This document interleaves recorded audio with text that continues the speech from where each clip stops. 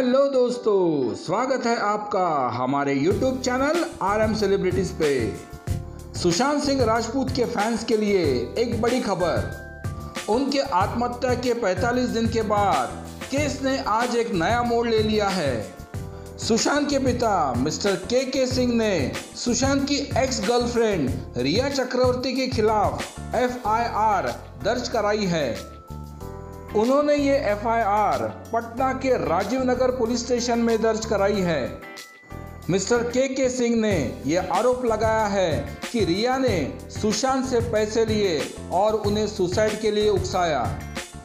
IPC की धारा 341, 342, 380, 406, 420 और 306 के अंतर्गत ये केस दर्ज हुआ है। सुशांत के जाने के 45 दिन के बाद पहली बार उनके परिवार के तरफ़ से कुछ पहल हुई है। एफआईआर के अनुसार रिया चक्रवर्ती के ऊपर सुशांत को प्यार के जाल में फंसाकर पैसे ऐटने और आत्महत्या के लिए उकसाने का आरोप लगा है। ये केस नंबर 241 ऑब्लिक 20 है। पटना से चार पुलिस वालों की टीम मुंबई पहुँच गई है। रविवार को पटना के राजीव नगर थाने में पाँच पन्ने का एफआईआर दर्ज हुआ है। इस मुकदमे में रिया चक्रवर्ती के खिलाफ सुशांत सिंह राजपूत के पिता के के सिंह ने पाँच पन्ने के एफआईआर दर्ज कराई है।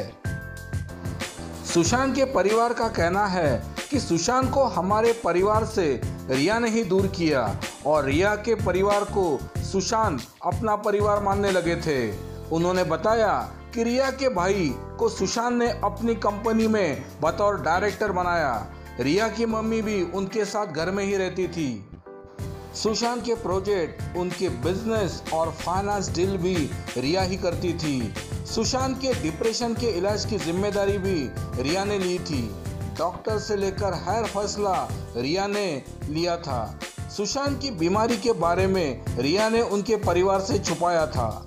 सुशांत अपनी बहनों से ना मिले, इसके लिए रिया ने विला और रिसोर्ट का रुख किया। बांद्रा का घर भी सुशांत से, रिया की पसंद से दिसंबर 2019 में लिया था।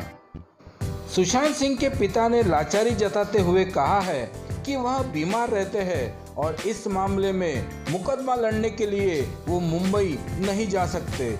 इसीलिए पटना में ही उन्होंने मुकदमा दर्ज करवाया है। पटना के एसीपी ने कहा है कि यह विशेष परिस्थिति में दर्ज करवाया गया है। इसके एफआरआई को क्लासिफाइड श्रेणी में रखा गया है और कोर्ट में भेज दिया गया है।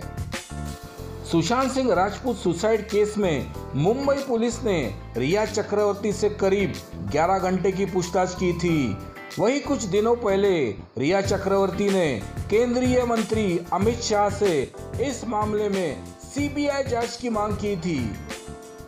इसके साथ आपको बता दें कि मुंबई पुलिस ने इस मामले में अभी तक रिया चक्रवर्ती, आदित्य चोपड़ा, संजय लीला बंसाली और महेश भट्ट समेत फ़िल्म इंडस्ट्री से जुड़े कई बड़े चेहरों को पूछताछ के लिए बुलाया है।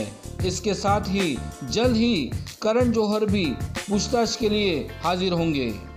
पटना सेंट्रल जोन के इंस्पेक्टर जनरल संजय सिंह ने कहा है कि सुशांत सिंह राजपूत के पिता की शिकायत पर सुसाइड के लिए उकसाने के सहित विभिन्न धाराओं के अंतर्गत रिया चक्रवर्ती के खिलाफ एफआईआर दर्ज की गई है। और इस एफआईआर में रिया के परिवार के सदस्यों के अलावा छह अन्य लोगों के भी नाम है। दोस्तों, इस मामले में और अपडेट जानने के लिए हमारे चैनल को लाइक और सब्सक्राइब कीजिए। Thanks for watching.